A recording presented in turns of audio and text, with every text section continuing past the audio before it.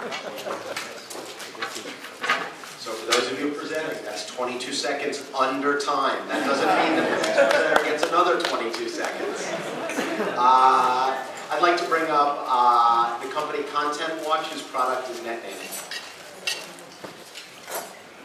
Hello, my name is Melissa Garland. I'm the Vice President of Marketing for Content Watch, makers of NetNanny. Uh, I am very excited today to announce the launch of our new Internet Parental Controls product for Android and Apple iOS. Um, we are bringing our number one internet filter from Windows and Mac to mobile devices. Um, our award-winning dynamic contextual analysis engine blocks or warns any content that you deem inappropriate, uh, including user-generated content such as text found on a page like a YouTube page.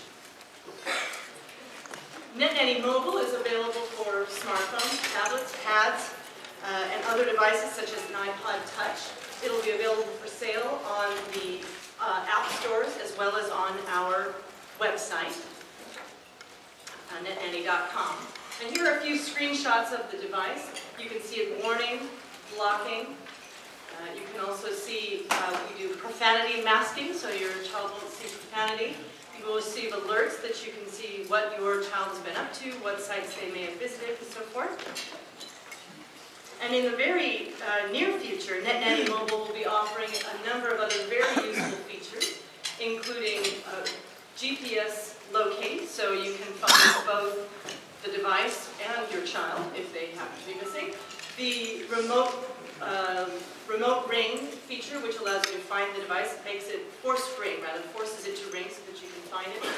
And remote lock and wipe, where you can shut down or wipe off any data on a phone to protect all of your personal data.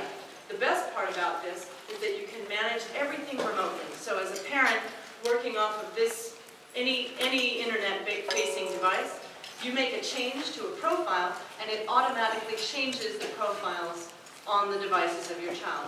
And you can have, see, I thought I was way under. Please come visit us 3614 or stop by Corey to get uh, a USB stick uh, with some more information. Thank.